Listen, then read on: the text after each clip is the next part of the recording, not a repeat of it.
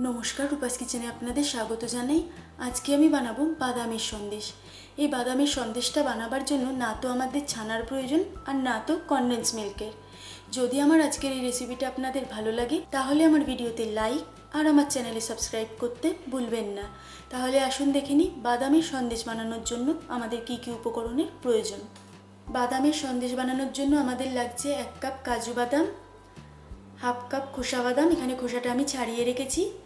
Half cup চিনি, ছ থেকে সাতটা পেস্তা, দশ বারোটা লবঙ্গ, স্যাফরন মিল্ক, এখানে থ্রি টেবিল স্পুন গরম দুধের মধ্যে দু পিঞ্চ স্যাফরন অ্যাড করে রেখেছি। আর আমাদের লাগছে জল। সবার প্রথমে আমি দুটো বাদামের পাউডার তৈরি করে নেব। আপনারা চাইলে দুটো বাদামকে আলাদাভাবে গুঁড়ো করতে পারেন, তবে একসাথে গুঁড়ো করলে কোনো সমস্যা হয় না, তাই আমি একসাথেই গুঁড়োটা করছি।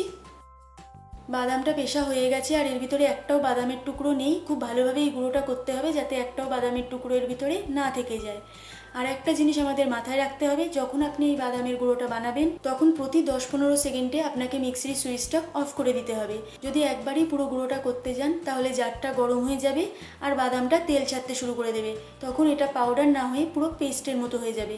আর প্রতি দশ পনেরো সেকেন্ড ছাড়া মিক্সির সুইচটা যদি অফ করে দেন, তাহলে দেখবেন এটার পেস্টের মতো হচ্ছে না, এরকম পাউডার হবে। দেখুন, এটা একদম হাতে আটকে যাচ্ছে না, চিপচিপ করছে না, খুব ভালো পাউডারটা তৈরি হয়েছে।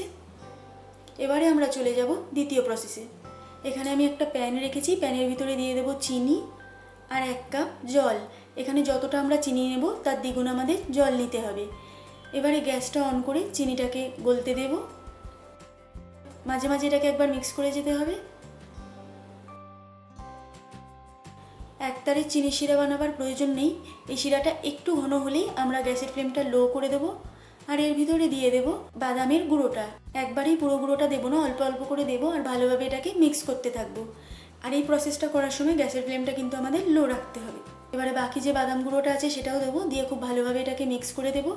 এবারে যতক্ষণ না এই মিক্সচারটা একটু ঘন হচ্ছে, যতক্ষণ না এটা প্যান থেকে আলাদা হয়ে যাচ্ছে, ততক্ষণ এটাকে আমরা অনবরত নাড়তে থাকব। মিক্সচারটা যত ঘন হতে থাকবে, ততই প্যানের এক জায়গায় এসে জড়ো হয়ে যাবে। এবারে এর ভিতরে স্যাফরন মিল্কটা দিয়ে দেবো। দিয়ে খুব ভালোভাবে এটাকে মিক্স করে দেব। আপনারা চাইলে স্যাফরন মিল্কের জায়গায় এলাচের গুঁড়ো বা রোজ এসেন্সও ব্যবহার করতে পারেন। দেখুন মিক্সচারটা কত ঘন হয়ে গেছে আর এটা প্যানের গা থেকে একদম আলাদা হয়ে এক জায়গায় ডালা হয়ে যাচ্ছে। এবারে গ্যাসের ফ্লেমটা অফ করে দেব। আর গ্যাসের ফ্লেমটা অফ করার পরেও এটাকে আরও দু তিন মিনিট আমরা অনবরত নাড়তে থাকব। কারণ প্যানটা গরম আছে, এটাকে যদি আমরা এইভাবেই ছেড়ে রেখে দিই, তাহলে নিচে থেকে পুড়ে যাবে। দু তিন মিনিট হয়ে গেছে, এবারে আমি এটাকে একটা প্লেটের ভিতরে বার করে নেব আর এটাকে অল্প ঠান্ডা হতে দেবো। পুরো ঠান্ডা করলে কিন্তু হবে না, যতটা গরম আমাদের হাত সহ্য করতে পারে, ততটা গরম থাকা অবস্থায় আমরা মিষ্টিটা বানানো শুরু করব।